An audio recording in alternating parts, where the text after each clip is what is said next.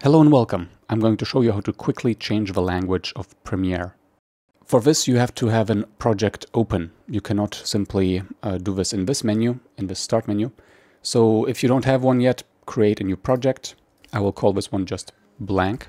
And now you have to hit the key Control F12. Control is at the bottom left of your keyboard, F12 is at the top, probably around the right side. On a laptop keyboard you might have to press Control FN F12 for F 12 to work rather than a multimedia key. What happens then? This console appears. And here you have to search for language or just go to application language, line. And here we have en underscore us by default in my case.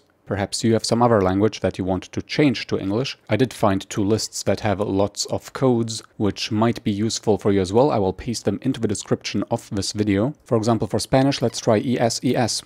So you just delete this and replace it with whatever the language code is. ES small case underscore ES uppercase, for example. Now we have to close this and close the project. Save if you want. In my case, there were no changes. And now simply restart Premiere. You can already see some text was different. And here you also can see the menu text is already different.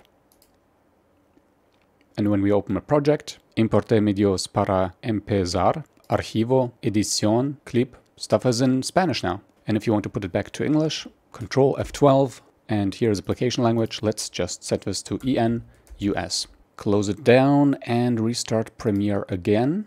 And we can already see it says artwork by so-and-so. Everything is back to English language. Import media to start. File, edit, clip, sequence. This is how you do it. Give this video a like, subscribe if it helped, and I'll see you next time. Ciao!